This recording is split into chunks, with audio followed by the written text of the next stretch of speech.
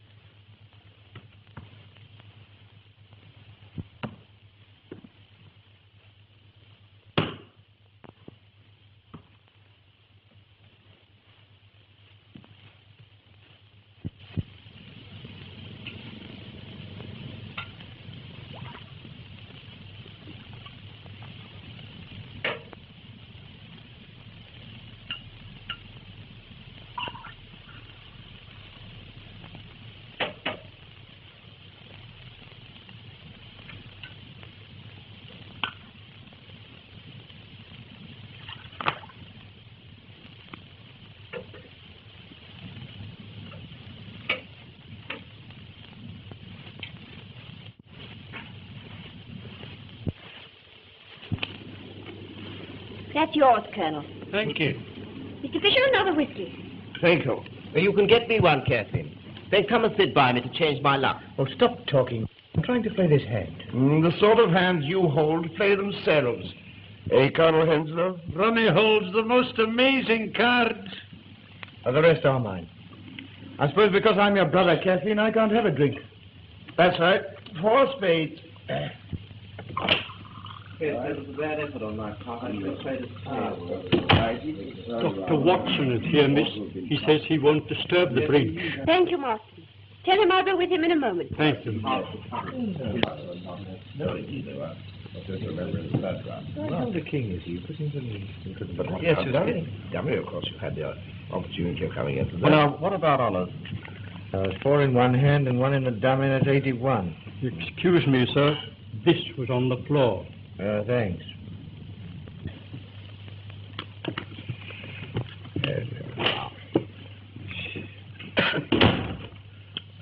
Ah, thank you. Uh, my dear, I believe. Will you cut, Colonel? Come and sit by me, Kathleen. I can't leave Dr. Watson alone. I must go. Is that the Dr. Watson, the friend of Sherlock Holmes? Yes. Then you know Holmes. No. Dr. Watson has known us since Ronnie and I were kids. But we've never met Mr. Holmes. Yeah. He's always too busy. I see. I've got two aces of spades. But we've used this pack before. Oh, I know. Marston found one on the floor. Yes, but how could... Yes, but... And it must have dropped off here.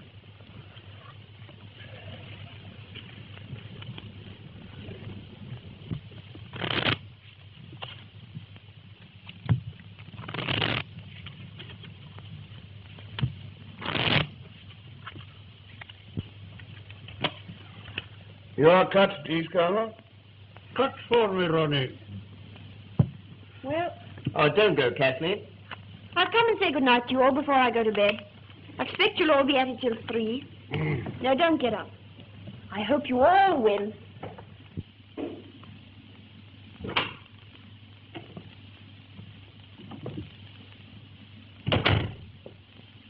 My dear, how kind of you to come. A summons from you comes before even a summons from Sherlock Holmes. It's sweet of you to say so, anyhow. Take off your coat and let me give you a drink. No, thanks. I can't stay. I came for a moment because you sent for me. Well, let's sit down for a minute.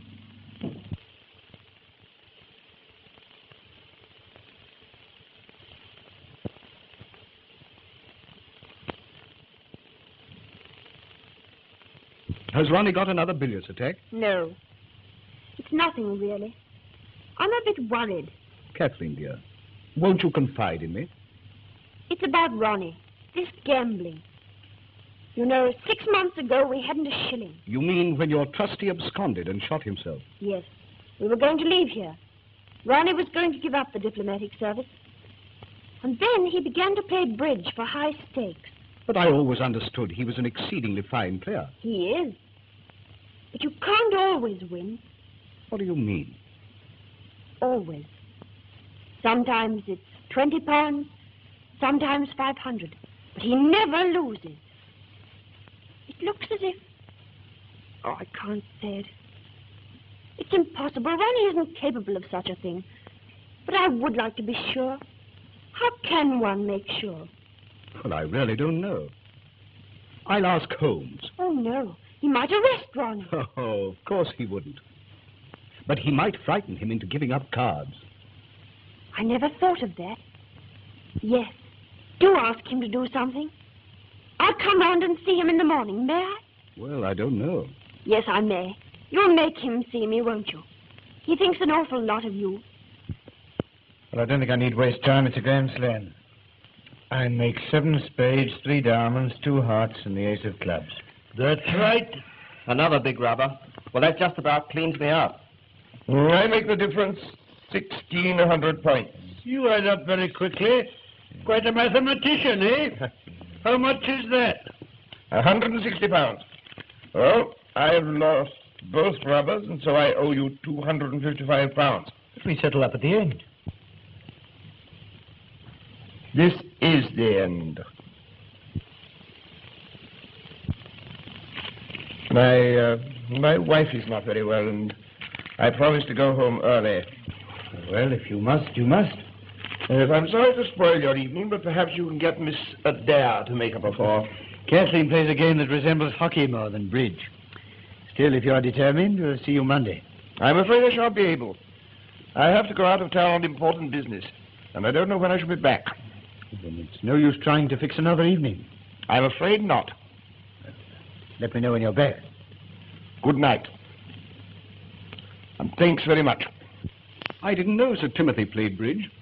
Sir Timothy? Yes. Timothy Frobisher. He's the fourth.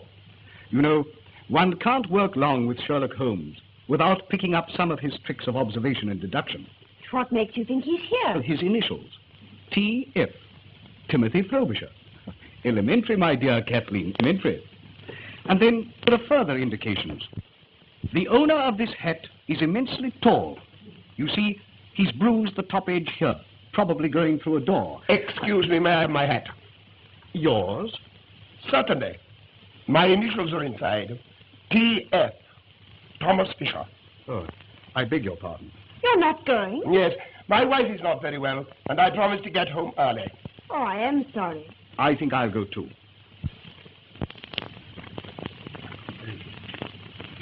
Well, good night, and thanks for playing. Sorry you had such rotten luck. See you Monday. Well, really, I, I think I better not. I've lost an awful lot lately, and I think I better chuck it for a bit. Well, just as you like. Oh, don't think me rude, but, but I just can't afford it. That's all right, Eva. Good night, Colonel. Good night.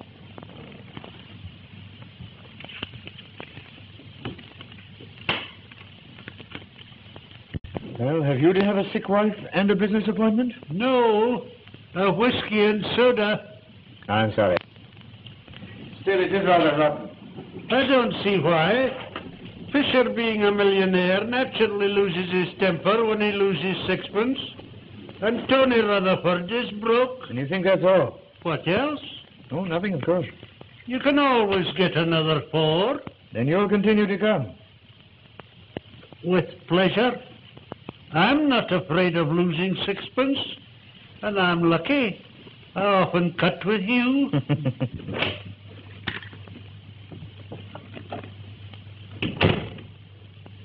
What's the matter with you all, stopping so early? well, Fisher had to go. And for once in my life, I'm going to have an early night. Then I'll see you out. Good night, Ronnie. Good night, Colonel.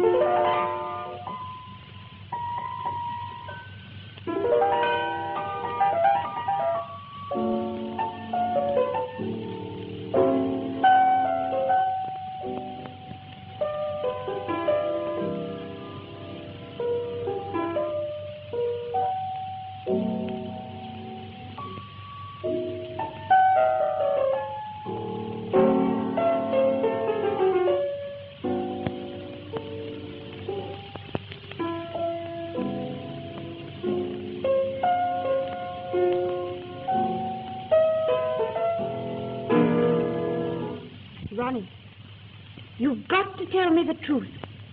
The truth? What do you, what do you mean? I've got to find out the truth. Terribly difficult thing, darling. Ronnie, stop. Kindly explain this ace of spades. Explain this. You know exactly what I mean. When Marston picked it up, you said it belonged to that pack. It doesn't, and you know it. well, it must belong to some other pack. Hidden duplicate pack. What the devil do you mean? How dare you suggest that I... God knows I don't want to suggest it. But we were ruined. Then you started playing bridge for high stakes. Look here, Kathleen. We've always been the best of pals. But if you're going to say things like that, I... Don't you see everything points to it? Oh, I don't believe it. I, I won't believe it. If I did, I'd rather put a bullet through your head than own a I brotherhood. guess, Master. Excuse me, sir. A note from the Foreign Office. Thanks. Who brought it? The Commissioner, sir. Is he there? No, sir. He said there would be no answer.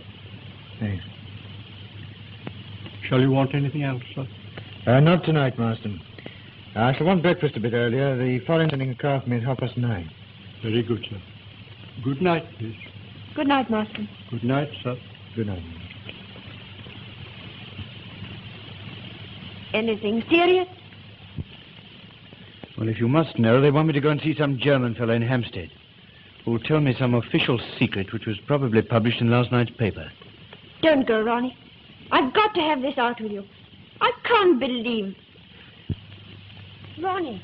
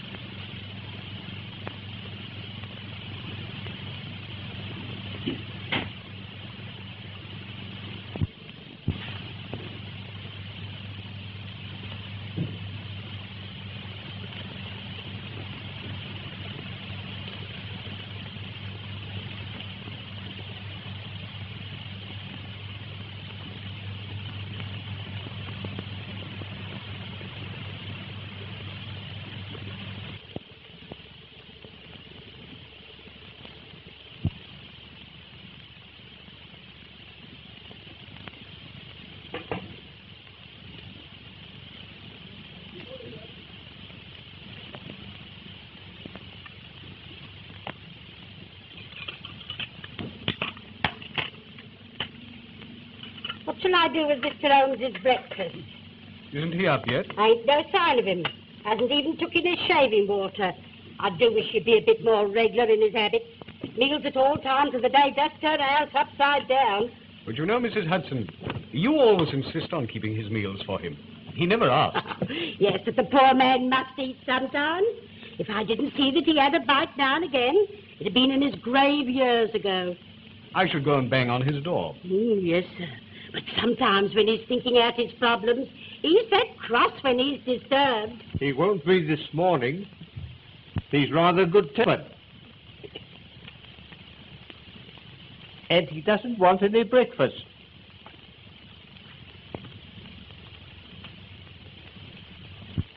No, Mr. Holmes, you did give me a turn. Well, uh, one good turn deserves another. what can I do for you? As to breakfast, sir. Oh, I've, I've already breakfasted with the manager of the London and Commercial Bank. Oh, so they've sent for you for this. Hmm. Are you sure I can't tempt you to a nice bit of attic? My dear Mrs. Hudson, you've always been a temptation to me, but addict, after a good breakfast, is not. No, how you do carry on. It's a good job I don't take you serious. Oh, I'm perfectly serious. Jokes are not my strong point. Ask the doctor. I never see any of his. No.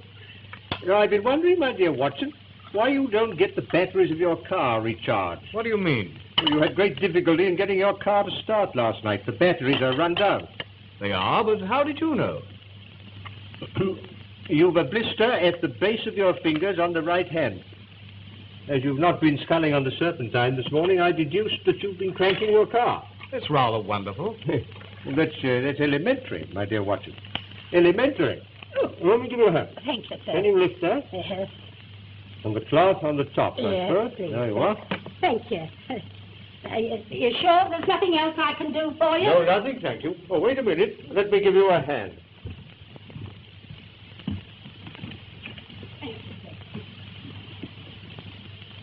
Why have they sent for you about this? It's perfectly simple. A man tries to burgle a bank, is disturbed, kills the watchman, and runs away. I find it uh, very interesting.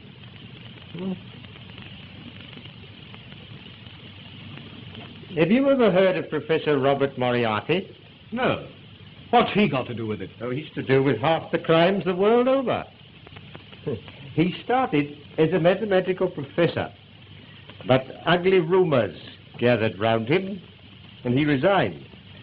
So after that, he vanished for ten years or so. I fancy he went abroad. Then he returned to England, and things began to happen. What thing? For a long time, I've been conscious of some power, a deep organization which stands in the way of the law. Uh, once he made a slip, and I was able to deduce that behind that power was Moriarty. But he recovered himself, and I could prove nothing. He has hundreds of agents, none of whom have ever seen him. Sometimes an agent is caught but the man who plans most of the crimes that are committed is never caught, never even suspected. He knows that I know of his activities. He also knows that up to now I've been unable to reach him. And you think he's connected with this bank murder? I think it highly probable. Yes? Yes, come in. Inspector Lestrade to see you, Oh, sir. ah, Lestrade. Anything fresh? No, Mr. Holmes? Sit down, Lestrade. Thank you. I just came in to get that piece of brown paper. Oh, yes, yes, this little piece. You mean, I should like to keep it a little longer, if I may. I haven't yet decided what the rest of the label is. Well, uh, I don't see how you ever can. It's just an ordinary shopkeeper's label. There's not enough of it to tell us anything. Uh, well, I disagree, my dear Lestrade. But, but then, uh, you and I so often disagree. Oh, come, Mr. Holmes. I've a great respect for your theories. It's only when you begin about this Professor Moriarty. Yeah, you don't believe in him. I ask you, is it possible for a man to plan half the crime in this country without the Yard knowing who he is, where he lives, or anything about him? It does seem rather strange. I mean, the man can't live nowhere, never be seen by anyone. Of course. Well, lots of people know him, but they don't know that he's Moriarty. Mm, you yourself may know him. Jokes are not your strong point, Holmes. No, I'm perfectly serious. He has a hundred disguises and a hundred aliases. And I'm pretty certain he had a hand in this bank robbery. But it wasn't a robbery. The thief got nothing. He broke into the bank and... Have you ever tried to break into a bank, Lestrade? Me? no, I thought not. But do you seriously think it possible for one man to break into a bank without using anything short of dynamite? There were no signs of a forced entry. Which might point to the fact of his having an accomplice. Or even two. He got inside. Which doesn't necessarily mean you're professor. The man was interrupted by the watchman, killed him, got frightened, and bolted. And yet, inside the safe, we found this piece of brown paper. Three people swear it was not there when the safe was shut last night. Then he was inside when he was disturbed. Eh, Or before he went inside. He had this paper wrapped round something. You'll observe that this end here is slightly torn and there is a, a blood stain on it. I therefore deduce that the struggle with the watchman took place first, and he then took his parcel into the safe. Oh, it won't work, Mr. Holmes. It won't work. There was seventy thousand pounds of note in the vault. Not one of them is missing. How true. How true. But if you remember, a fortnight ago, an almost similar thing occurred in Berlin. In Berlin? Yes. You should read your Berliner Tageblatt, my dear Lestrade. The strong room of the Reichsbank was entered. The watchman was laid out, happily not killed, and nothing was removed. Very strange, Mr. Holmes. Very strange indeed. It looks almost as if there was a connection. I should like time to think it out a bit. Uh, when can I have that piece of brown paper? I- I'll let you have it this evening. In the meantime, would you be good enough to warn all foreign customs officials to be on the lookout for a very large quantity of English banknotes which will be smuggled through in ordinary luggage? What do you think? I think it would be a wise precaution. Very good, Mr. Holmes. I'll get back to the yard now and put the matter in hand. Good morning, gentlemen.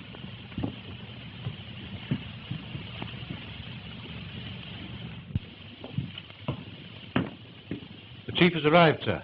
Oh? What are his orders? He will interview Mr. Adair himself. Right. Send Mr. Adair in.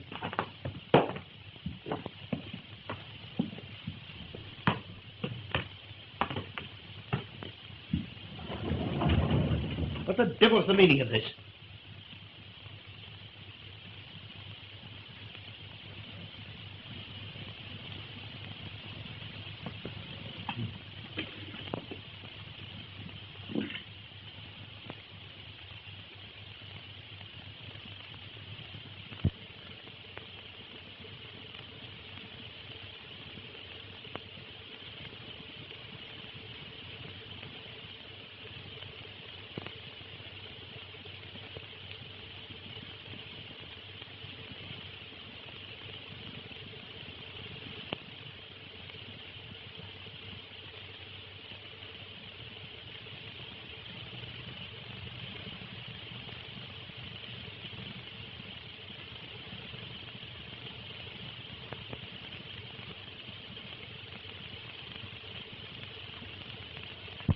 Adair.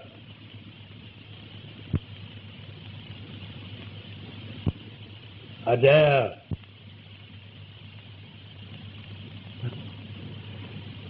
God, am I drunk or what? I hope not at ten o'clock in the morning. What's all this about?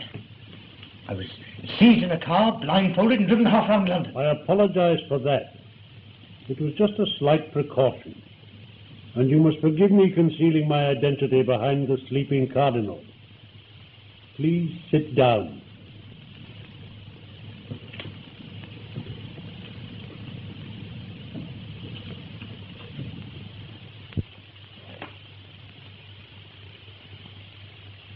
Are you Mr. Mr. Clink? Mr. Otto Clink? No. Poor Otto Clank must have been dead a good many years. What the devil's the meaning of this? Only that I have a slight favor to ask of you, Mr. Adair. Favor? Who are you, anyway? I understand that you are leaving on the Golden Arrow at 11 o'clock tomorrow for Paris. And if I am? You are going on Foreign Office business, and you will have a laissez-passer, which means that your luggage will not be examined by the customs. I want you to take a suitcase to Paris for me. I'll do nothing of the kind. Why should I? Because you can't help yourself. Don't be ridiculous. Sit down, Adair. You go to hell. Sit down. You have been cheating at cards. What? I repeat, you have been cheating at cards. I should have warned you that this picture is painted on steel. Sit down. All your life you have been interested in sleight of hand. Your trick of palming a whole pack of cards has been very useful to you since your trustee absconded and left you and your sister penniless. It's a lie. You have taken to playing bridge for very high stakes. When you deal, you simply change the pack after it has been cut to you. You have a carefully prepared pack in the palm of your hand. You do the same when you cut a pack to your opponent. Now, this procedure, if publicly known, is not likely to lead to an advancement either social or diplomatic. In fact, it means the end of you. Who's been telling you this ridiculous story? Last night you made a slip. You dropped the ace of spades. Now I think I can count on your doing me this very slight service. Go on. A suitcase bearing your initials will be delivered at your flat at 9.30 this evening. You will pass it through the customs with your other luggage. I understand you have engaged a room at the Bristol in Paris. You will take your luggage there, and by ten o'clock tomorrow night the suitcase will have vanished from your room. You will make no comment. What's in this precious suitcase? That does not concern you. Yes, but it might be anything. Stolen jewels, bombs, heaven knows what. No, I'll be damned if I'll be made use of in this way. I feel sure that you will change your mind. In the event of your not doing so, you will find the only alternative in the box on the table. What do you mean?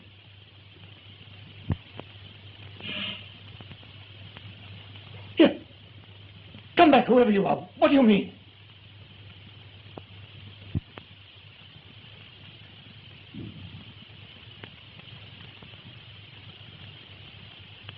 The only alternative. Oh, my God.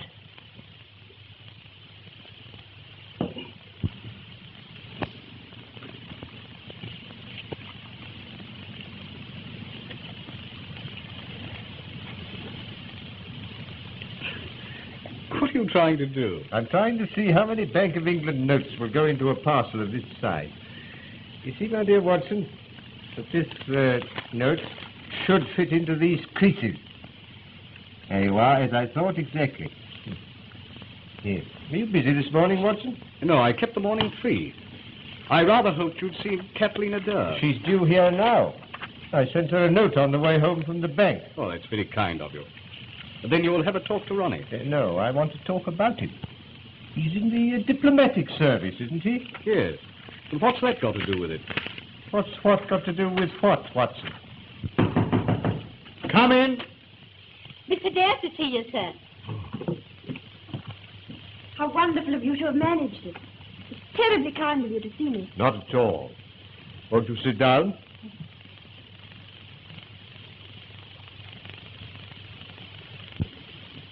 The Watsons told me how worried you are about your brother, but I don't quite see what I can do. I've been wondering if you could find out if it's really true. If it is, and I can't believe that it is, perhaps you could frighten him into giving up. Co- With whom does he play as a rule? well, last night there was Tony Rutherford, old Mr. Fisher, What, Thomas Fisher, the millionaire? yes, and Colonel Henslowe, an old friend of ours. Mm-hmm. Fisher. I wonder. Hmm. Forgive me, Miss Adair, but does your brother travel at all on official business? Quite a lot. In fact, he's off to Paris tomorrow. Ah, I thought so. How long has he known that he would be going tomorrow? Three or four days, I think. Where is your brother at the moment? I don't know. At the Foreign Office by now, I should think. He went out early this morning. They sent a car for him. Oh, do you uh, happen to know uh, where he had to go? I think he said Hampstead. I know it wasn't far. He should be back at the office by now. Yes. Yes. They think a great deal of your brother at the Foreign Office. They used to. But lately he's been playing so much bridge. I'm afraid he's been neglecting his work. Yes, that's a pity. Yes. I wonder if you'd be good enough to ask your brother to come and see me this afternoon. Of course. I'll go round to the Foreign Office now. Oh. I might just catch him. Why not telephone? He hates being rung up there, and I couldn't explain on the telephone. What shall I do if I miss him? Well, when will you be seeing him? Tonight. He's dining out, and he's bound to come in to dress. Very well. In that case, would you be good enough to ask him to come and see me in the morning before he starts? That's awfully kind of you. Uh, don't mention bridge to him. As a matter of fact, I shall not say a word on that subject myself.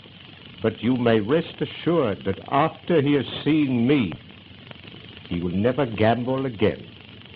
I can't tell you how grateful I am. Not at all. It's I am grateful to you.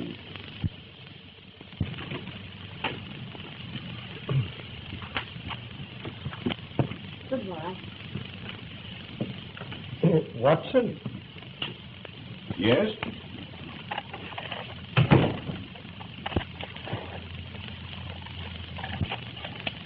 What's all this mean, Holmes? Means, my dear Watson, that the Foreign Office doesn't send a car to take a very unimportant young man to Hampstead.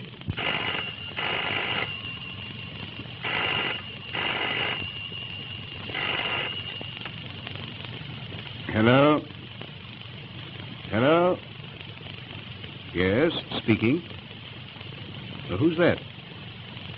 Mrs. Smith. I seem to know that name. Mrs. Annie Smith. Oh, Mrs. Tallboys put you on to me. I don't think I know a Mrs. Tallboys. Huh? no, you're quite right. It doesn't matter. Well, you think it's appendicitis. Oh, what's the address? Would you mind taking this down, Holmes? 1006 Pentonville Road. Yes. Yes, I'll come at once. I'll take a taxi. Goodbye. Here's the address. I've added a note which I want you to read when you've found the taxi. What's it about? Well, you read it when you've found the taxi. I hope your friend, Mrs. Tallboy's friend, is not as bad as she thinks.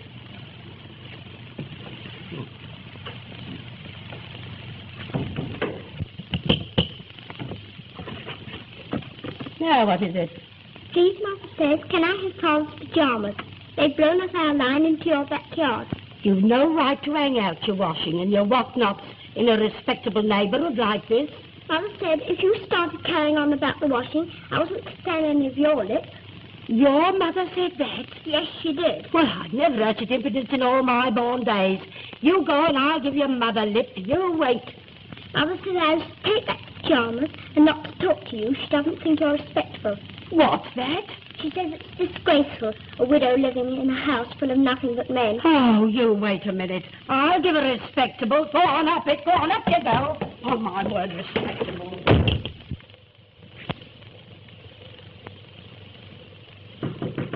Yes. Come in. Hello. Yes. Sir, Hmm? I'm just going to step round to that Mrs. Freeman. I've got a few things I want to say to her. Yes, Mrs. Hudson. But what has upset you? Well, she just told me. She sent her daddies round to say that I... Well, I want to mean myself for saying what she did say. But I want you to know I shall be out 20 minutes. Mm-hmm. It'll take me that time to tell her what's here. Yes. Well, I I wouldn't be too violent if I were you, Mrs. Hudson. Violent. Indeed, I'll set about her good and proper. Indeed, I would, if it wasn't for my chronic ulceritis.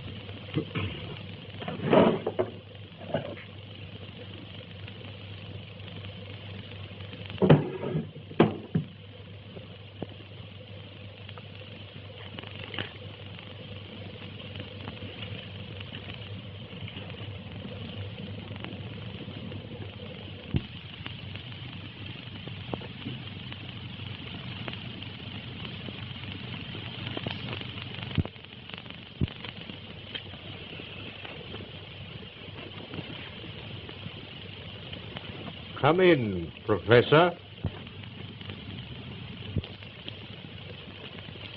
You think you know me, Mr. Holmes? Why not? You called upon me once before. On that occasion, your face was completely covered with surgical bandages. But your arrival coincided with the same removal of Watson and Mrs. Hudson. You were a little more original in your methods last time. Today, I recognize the symptoms. I was expecting you, Moriarty. How clever of you, Holmes. Uh, won't you take off your scarf, Professor? Yes, perhaps you're right. This room is rather draughty. Shall we sit down? I'm afraid my method of getting rid of Watson and Mrs. Hudson was a trifle crude.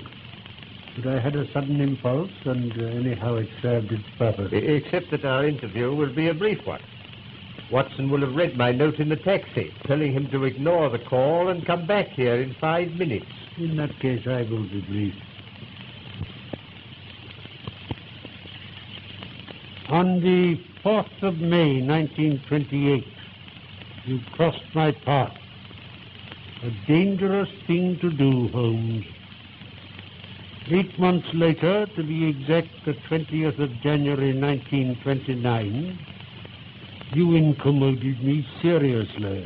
yes, you made a bad slip in 1929, didn't you? Nearly had you, Professor. And now I find you so constantly in my way that it would be better for me if you were uh, removed.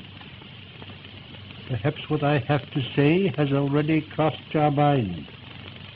Possibly my answer may have crossed yours. You stand fast? Absolutely. A great pity, Holmes. I have a great respect for your mentality. A great pity. You are getting in the way of a great organization, the full extent of which even you, with all your cleverness, cannot realize. You wish to put me in the dock. You never will. If you destroy me, rest assured I shall do as much for you. That's very interesting, Professor, but your five minutes are up. I fancy I hear the arrival of Watson. May I offer you a piece of advice? Never give way to sudden impulses. They're even more dangerous to you than I am. I read your note, Holmes. I... Oh, I beg your pardon. Uh, did you come to see me? Your friend is in great danger.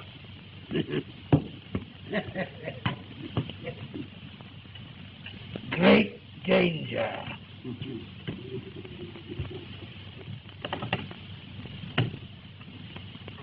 What's the matter with him? It is, it is the draft, Watson. He's feeling the draft very badly at this moment. But who was it? Well, that was Mrs. Smith of 1006 Pentonville. Mrs.? Or shall we say, Professor. Oh, the mythical Moriarty. What does he look like? Well, I know no more than you do. Except that the first molar in the left side of the upper jaw is very badly filled with gold. Have you a mathematical mind, Watson? I think so, fairly. Ah. Well, never give way to sudden impulses. They're not good for mathematicians. Moriarty has made the worst slip he's made since January 1929. You mean you think you found out how to get him? Uh, no. No, I found out where he gets his boots. I wish you'd be serious. The, the professor's boots are made by Mr. J.J. Godfrey, bootmaker. Yes, here we are. 502 Pont Street, Southwest 1. Godfrey, Pont Street. Yes. But that's where I have mine made. You do surprise me. But Godfrey's a perfectly respectable tradesman with a high-class clientele. Well, obviously. Obviously, you and Moriarty. You share a bootmaker with the professor. And for all I know, he may be a great friend of yours. Oh, really, Holmes?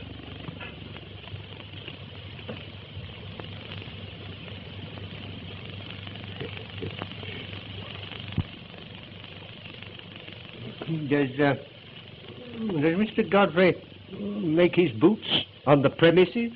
Yes, in the basement. He showed me over his workshop once. Yes. I think I'd like to see over that workshop. Hmm? We'll arrange with Lestrade to call there about 8 o'clock tonight. But how can it possibly matter where Moriarty buys his boots? Only that this piece of brown paper, which was found in the strong room of the bank, bears a piece of the label of Mr. J.J. Godfrey, bootmaker. Holmes, you're marvelous. Oh, elementary, my dear Watson. Elementary.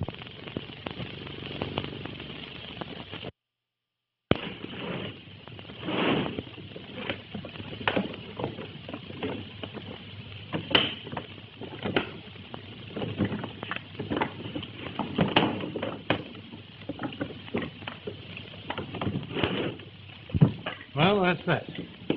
Now, what am I to do with it? You will be at Down Street Tube Station at nine o'clock precisely. You'll take the suitcase with you. Oh, it's all right. There's heaps of time. It isn't eight o'clock yet. In the main entrance, you will see a man with a scar on his left temple. He will take the suitcase from you. Yes, sir. The keys? Hello, sir. Looks a good bit of work. Yes, sir. I'm a good workman. Moran, Oh, the chief's here. I have just been informed that Inspector Lestrade has left Scotland Yard in a powerful car with police constables number 47, 54 and 83, all of the C Division. They will doubtless call for Sherlock Holmes and that great detective, Dr. Watson. Don't attempt to hide the suitcase. It would look suspicious. And see that everything is tidy. If the police detain you, I have arranged for someone else to take the suitcase. Don't off and then come in here, Moran. You heard? Yes, sir.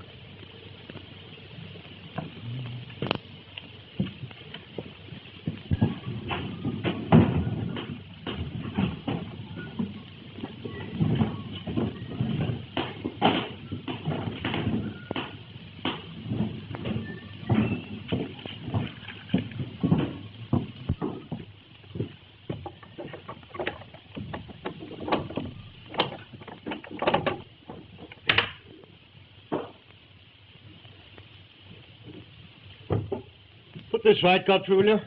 All right, sir.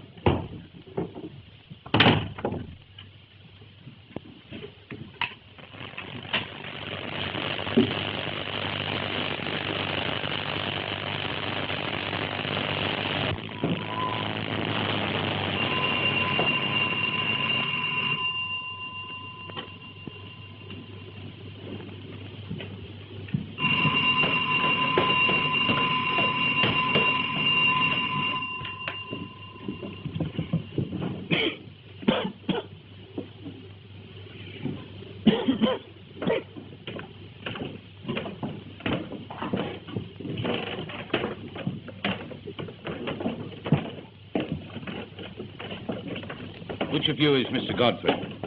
I am. There's my search warrant.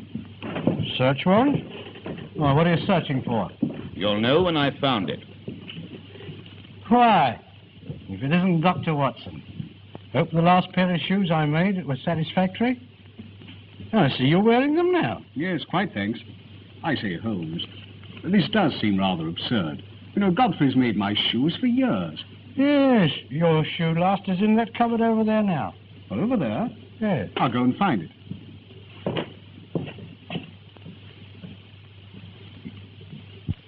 I suppose, Godfrey, you know what we've come for. I haven't the slightest idea.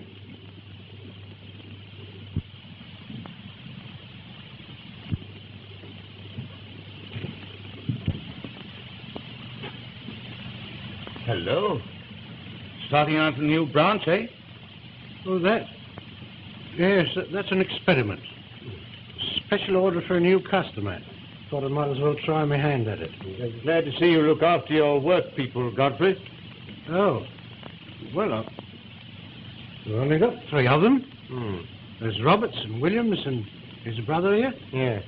Yeah. Well, you, you, you look after them. The, the place is properly ventilated. Ventilated? Oh, that. Yes, sir. Yeah.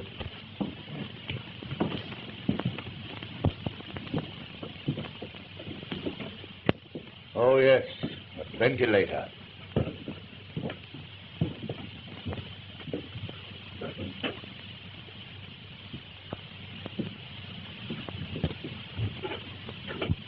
Where's that door lead? To the area. But uh, as you can see, it, it hasn't been opened for years. Well, I should like you to open it. Heaven only knows where the key is. That door hasn't been opened since I, I don't know when. Oh. Godfrey, this is a curious looking. What do you use for? It's used for special work. Oh.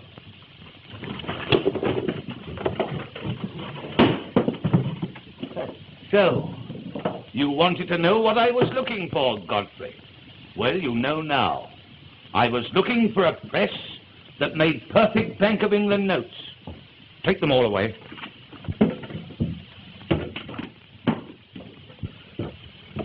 What are you doing? Quick, follow this wire. Lestrade. What for? Eh?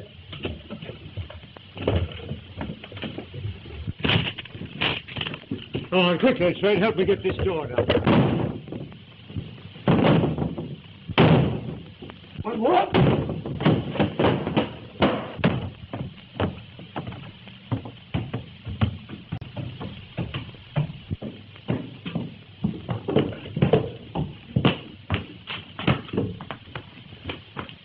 Watson. Dad.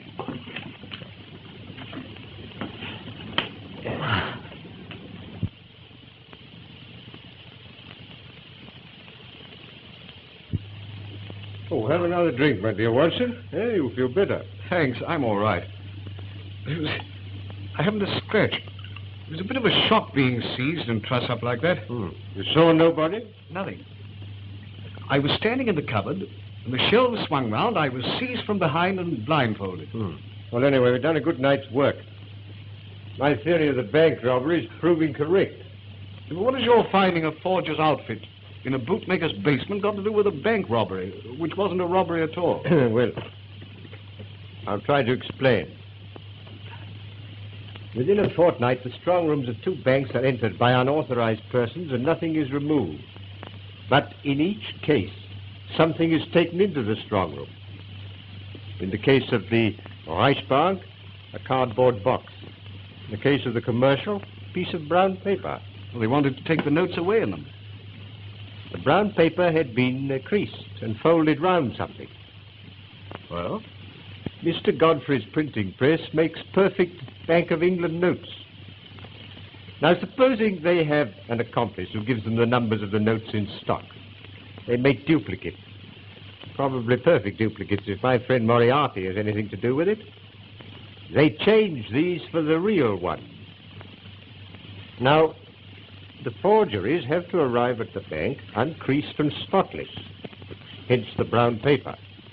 The real ones can be taken away anyhow, stuffed in the pockets, anything, and the paper discarded.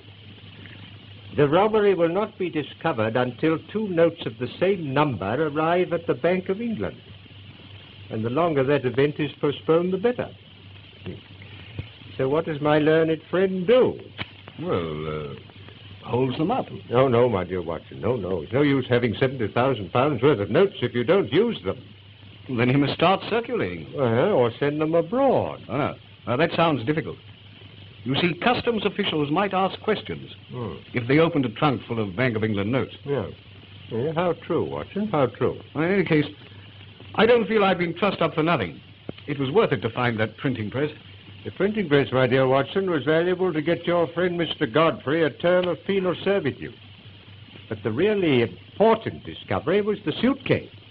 Suitcase? Eh, You probably didn't observe that on the lid were the initials R.A. I didn't, but what does that signify? Hmm, Ronald Adair is leaving tomorrow morning for Paris on Foreign Office business. He will have a diplomatic passport and a laissez-passer, which means that his luggage will not be examined. But, well, you, you can't connect him with... Good heavens, you don't think he's one of the gang? Supposing Moriarty were to threaten to expose his bridge exploit. How should Moriarty know? Well, how do I know things? Here. What time is it, Watson? It's a quarter to eleven. Oh, well, I wonder if, if we could get hold of Adair now. Oh, I forgot to tell you. Uh, Miss Adair sent a message to say that she'd missed her brother at the Foreign Office and that she'd send him round in the morning. Ah, well, will you ring up now, Watson, will you, and see if we can get hold of him right away? Yes, certainly. If I'm right, that young man is the one weak spot in Moriarty's armor. If I can get hold of him, Moriarty's wrong. He will stand in the dock tomorrow, and not long after on the gallows.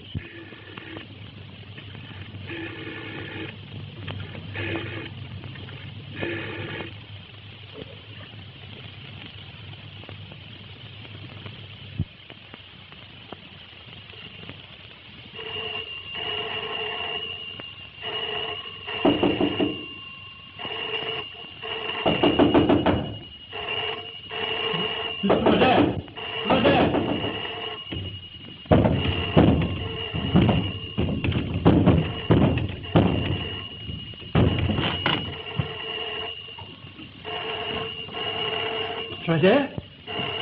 Mr. Adair!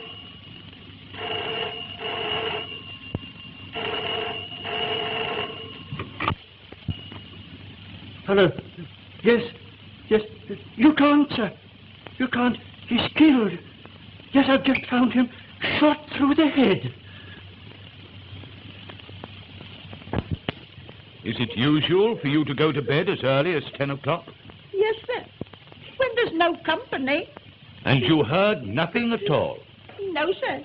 You, you see, our bedrooms are all at the back of the building, completely cut off from the rest of the flat. I see. Yes, sir. Thank you. Would you send the butler to me? Yes, sir. You can go too. But surely, Lestrade, considering what I've told you about the bridge party, it was obviously a case of suicide. Then where is the revolver? He must have thrown it out of the window. well, the bullet didn't penetrate the brain. He may have been conscious for a few seconds after the shot. And his fireplace shows that he'd been burning his correspondence. A good deal of correspondence. Then what about the letter he was writing? I can't make that out. The sleeping cardinal forced me to. I can't think what it means. Oh, Mr. Holmes. Would you care to examine the servants? The cook and the housemaid neither saw nor heard anything. No, no, no, Lestrade. No, no, no. You carry on. No, I'll just amuse myself. And we found this on the table in front of him. The sleeping cardinal. The sleeping cardinal, now. Where have I heard that name before?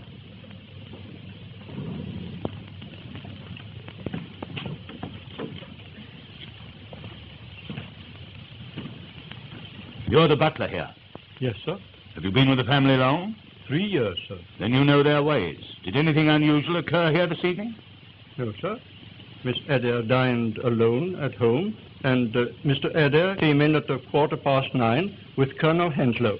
Who is Colonel Henslowe? Oh, he's an old friend of the family. He knew Ronnie Adair's father in India. Sir Henry Adair was Governor General of Bengal, you know. They used to hunt tigers together. Did you gather at all what they were talking about when they came in? Well, sir, Mr. Adair was saying, and you think Fisher means trouble? Huh? Mhm. That was all I heard, sir. How long was the Colonel here? Barely half an hour, sir. Was Miss Adair with them? No, sir. She was in her room. Was anyone else in the flat? No, sir. You're positive that there was no one else at all? No, sir. Oh, uh, a man came about half past nine with a new suitcase that Mr. Adair had ordered. What, uh, what kind of a man? I didn't notice him particularly, sir. He wasn't actually inside the flat. He just handed me the case and I signed for it. Where did the case come from? I really didn't notice, sir. I just told Mr. Adair it was here, and he told me to put it with the other luggage in his bedroom. Oh. Which one? That's the odd thing, sir. It isn't here. And I can't find it anywhere, though I've searched the flat. It was quite an ordinary sort of case. Can't think where it could get hidden. But it must be somewhere. Unless Mr. Adair took it out. He didn't go out, sir. He went straight to his room after the colonel had left. Why didn't Miss Adair come and see the Colonel? Wasn't she friendly with him? Oh, yes, sir. She was quite friendly with him. Wasn't she friendly with her brother? They were devoted to each other. They was, sir. But there was a bit of a shindy last night, sir. Well, she never mentioned anything about it to me. No, sir. It was after you and the other gentleman had left. I can't think it was a serious quarrel. I beg pardon, sir. It was. I brought in a note for Mr. Adair, and I don't think they heard me come in. What were they saying? Well, sir, Miss Adair was very excited, and she said, I'd rather put a bullet through your head than own a brother who... And then she saw me and stopped. Directly afterwards, Mr. Adair left the room. And tonight, how did you know he'd been killed? The phone bell was ringing in this room, which was locked, and I got no answer to my knocking. What did you do? I broke down the door. And then I found Mr. Adair in that chair, lying across the table, dead, and the window open. How long had he been in his room? About half an hour, sir. And you heard nothing? Not a sound, sir. And I was in my pantry, which is on this side of the flat. Thank you, Master. Would you ask Miss Adair to come here? Yes. I think if I were you, I should see Colonel Henslowe first. I understand he's with Miss Adair. And after all, he was the last person to see Adair alive. Yes. Will you ask the Colonel to come here? Very good, sir.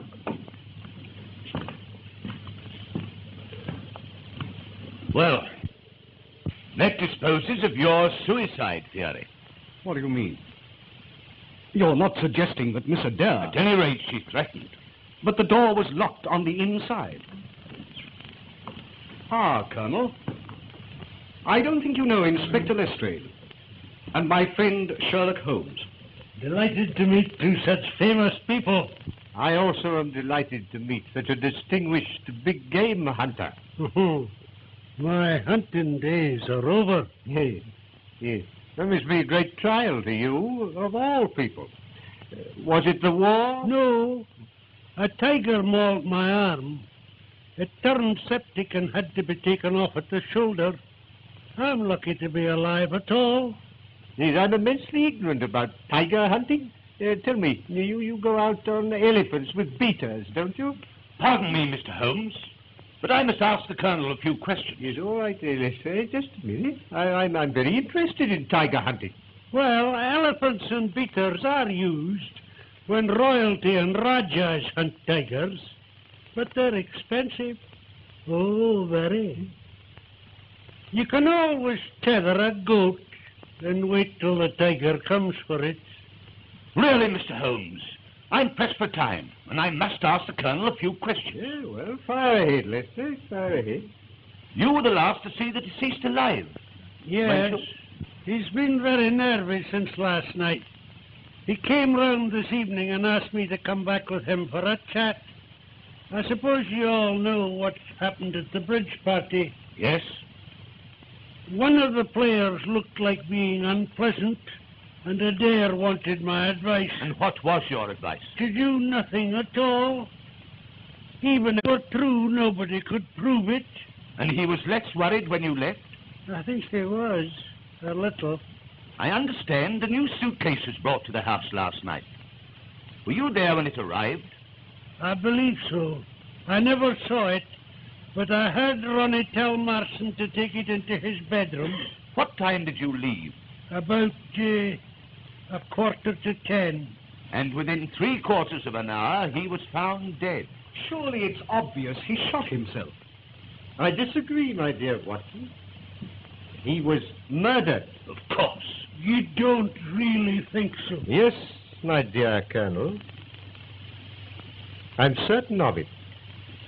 And what is more, I'm sure you'll all be glad to hear that within 24 hours I shall not only be in a position to prove it, but I shall have the murderer under lock and key. I'm delighted to hear it. Not that it can bring the poor lad back. You know, Ronnie, with all his faults, was extraordinarily lovable. I feel rather as if I had lost a son. Thank you, Colonel Henslowe. I shan't need you any more. Would you uh, mind asking Miss Adair to come to me a moment? Certainly. Goodbye, Mr. Holmes. Goodbye, Colonel.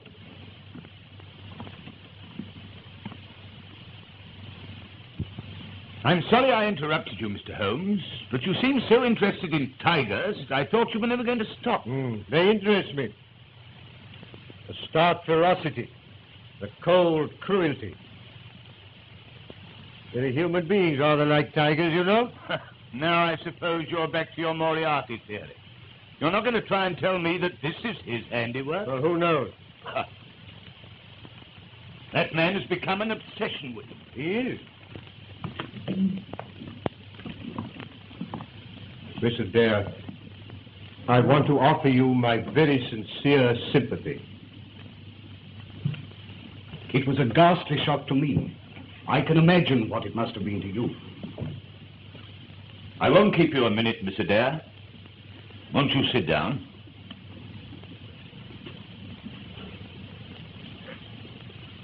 When did you last see your brother? At half past six. He came in to dress, and I came in here to give him a message. What was the message? I told him that Mr. Holmes wanted to see him before he went to Paris. You see, I had asked Mr. Holmes to interview him. What did he say? He was upset. In fact, we had rather a quarrel about it. Another quarrel. You had one the night before. Yes, but this was not so serious. He was merely annoyed that I had spoken to Mr. Holmes. He was very annoyed? Well, rather. He seemed more frightened than annoyed. I couldn't understand. And so you quarreled again? Well, yes. He said I had no business to interfere in his affairs. And did you again threaten to shoot him? Shoot him? Do you mean? The night before, your butler heard you threatening him. Oh, no. I never did anything of the kind. I shoot Ronnie. You said you would rather put a bullet through his head than own a brother who... Oh, that was only a figure of speech. I was accusing him of most unfortunate figure of speech, considering that within 24 hours he was found with a bullet through his head. But you don't think that No, I... miss. But I must ask you to come along with me after I finish my investigation. I say, Lestrade, this is grotesque. Holmes, listen. Here's Lestrade suggesting that Miss Adair... No, Dr. Watson, I didn't. All I want is her to come along and make a statement. I'm sure Miss Adair will be delighted to go with you, Lestrade. it is quite a warm night. Anything you say, of course. Thanks, miss. I shall be ready in a minute. Then I'll go and put on my things. If you have no more questions. No, nothing else, thanks.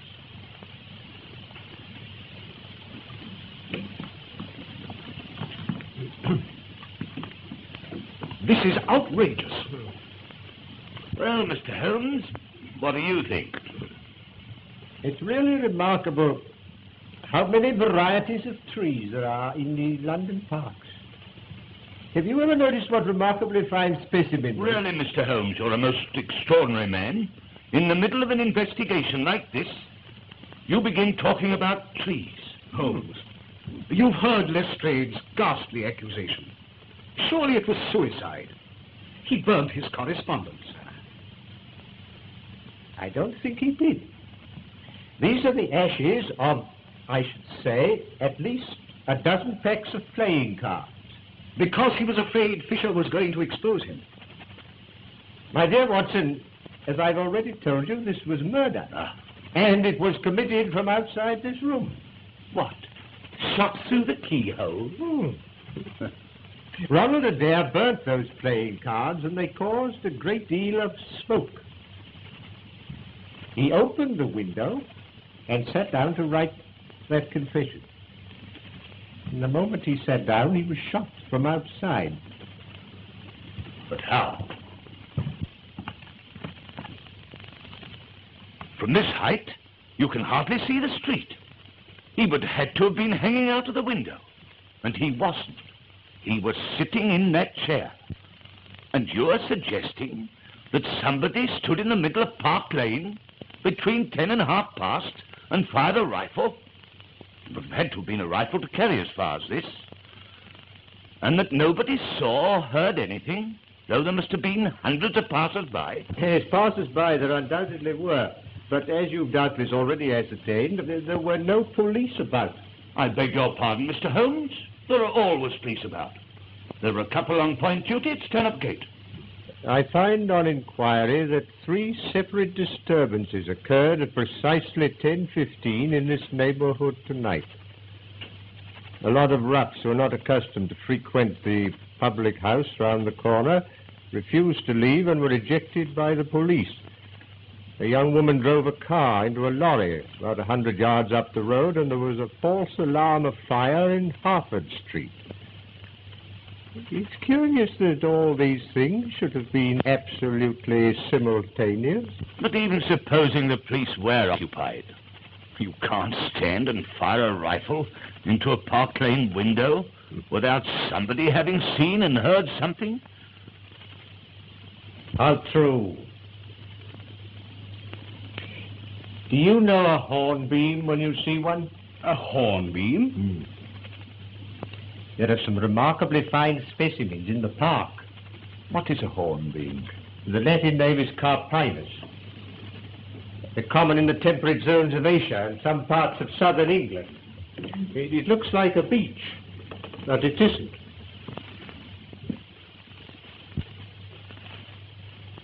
You know, Dr. Watson, in spite of the fact that I've known Holmes for some years, I sometimes wonder if he's all there.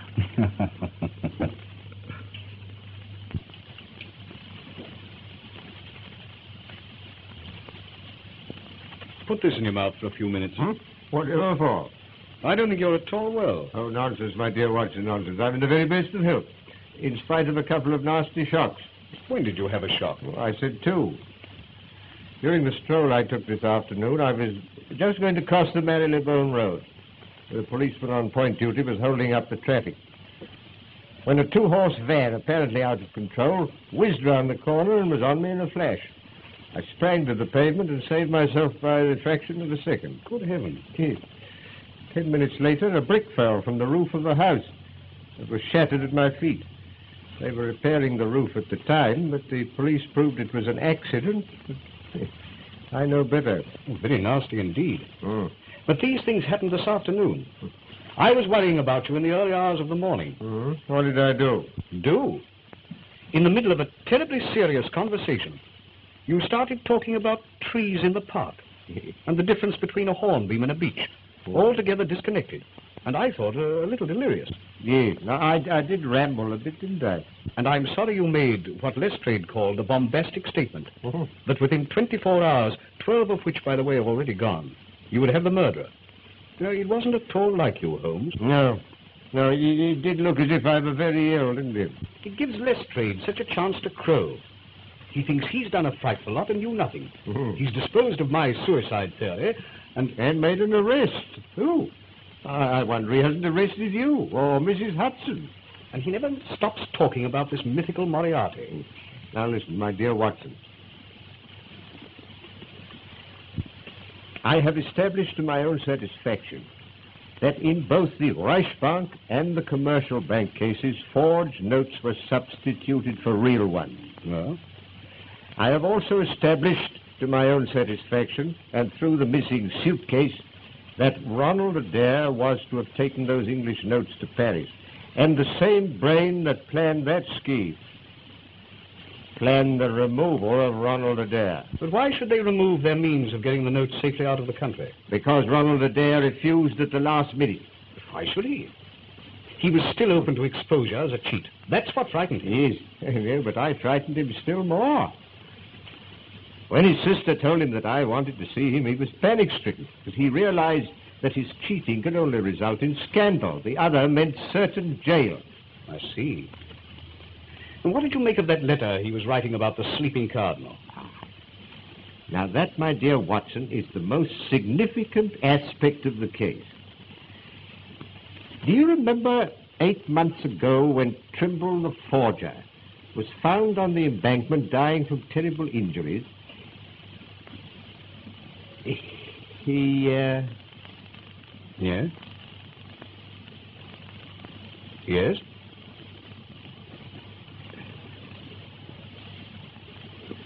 Yeah. Yes, yes, now, we mustn't forget your appointment. Appointment? Yes, it's necessary for me to remain alone a little while. So you, my dear Watson, are going to Euston. Euston? Whatever for?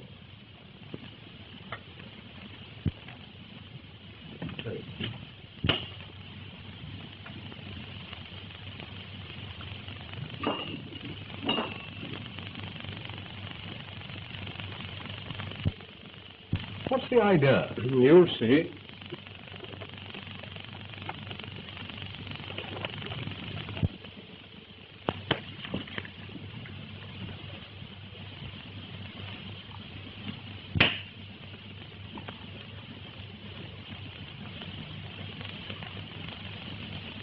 You're going to have a busy night. Now, I want you to put on your coat and hat, take a suitcase, uh, you needn't pack anything, get a taxi, and make a great fuss about getting it. Call Euston to the driver and tell him if he doesn't hurry, you'll miss the Scotch Express. The Scotch Express? Yes. You'll be followed. The moment you get to Euston, pay off the taxi and rush round to the booking office.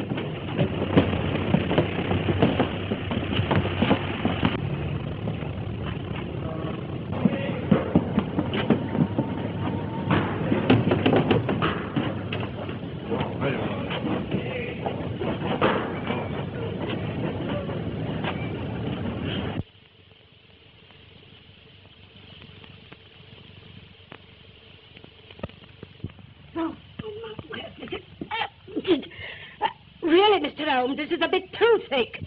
My apologies, Mrs. Hudson. Once again, you've proved yourself far above ordinary women. Well, Mr. Holmes, I did as you told me to. I moved the statue every few minutes when suddenly the whole blooming thing falls on top of me. But you've done very well, Mrs. Hudson. Very well. Lestrade, uh, bring in the prisoner.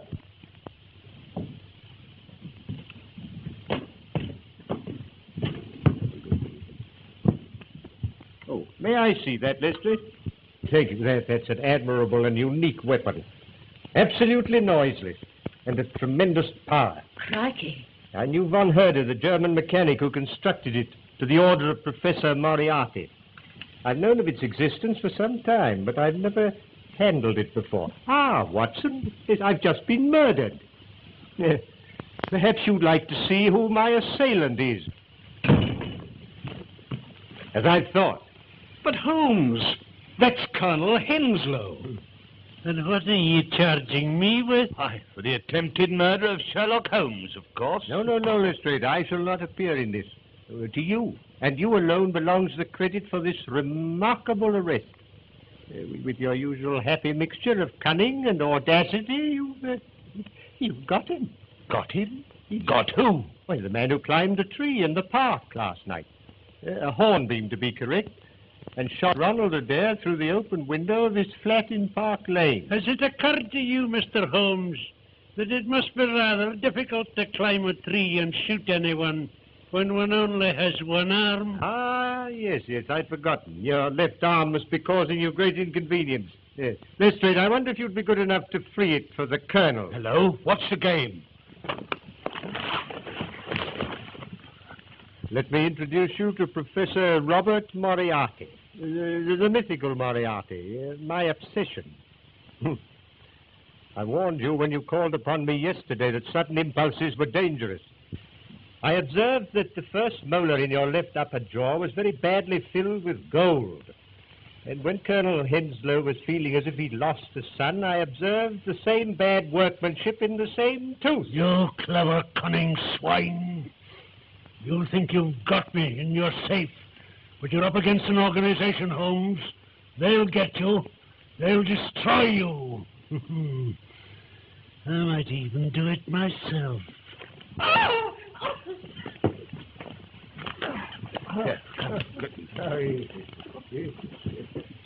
Take him to the station, Lestrade. Yes. I think you'll find most of your organization waiting for you there. Hmm. Also a brand new ceiling, £70,000 of good English bank banknotes. Take him away. We shall meet again, Mr. Holmes. And next time... Come on. Are you all right? I am, except my feelings and my tie, which is entirely disorganized. Well, we proved our Moriarty theory, all right, Mr. Holmes. Hmm. It's not easy to throw dust in your eyes, my dear Lestrade. Doesn't do to uh, trifle with Scotland Yard. Quite true, Mr. Holmes. Quite true. Well, now, Watson, what about the drink? You'd like one, wouldn't you? Thanks. Lestrade?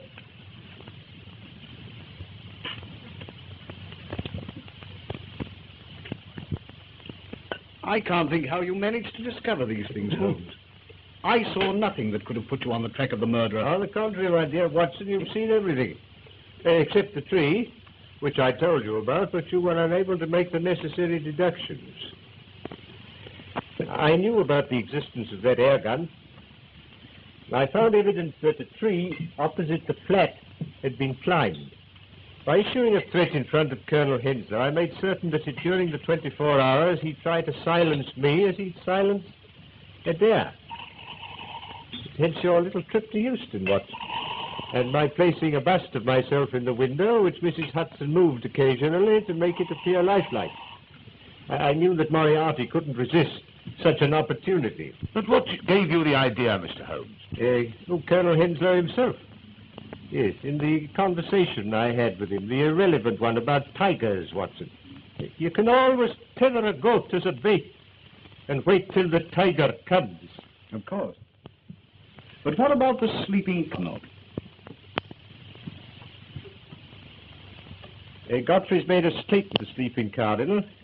That's the painting in the room in which you were tied up, Watson, and through which Moriarty used to speak unseen by his dupes. Uh, I've only one regret, that the bust of myself by Angelo Palazzini has been irretrievably ruined.